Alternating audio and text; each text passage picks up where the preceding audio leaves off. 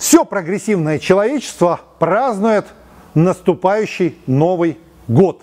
И мы не исключение. Понятное дело, что в предстоящий уикенд не будет никаких поединков. Люди просто отдыхают и получают удовольствие. Но 7 января 2020 года мы подготовим особую программу The Ring Show, в которой будет очень много криминала. Мы расскажем вам, почему Василий Ломаченко будет великим боксером в истории бокса, но никогда не станет величайшим. Мы объясним, почему Эдди Хирн выводит Александра Усика на бой против Дерека Чесоры, а не против Джозефа Паркера. Что ожидает Сергея Деревянченко после расставания с Луди Белла?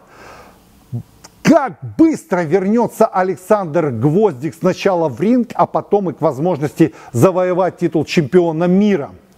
Кем собирается стать Артем Далакян?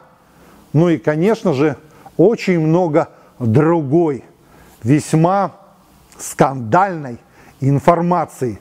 Так что 7 января 18.30 первый выпуск программы The Ring Show в 2020 году.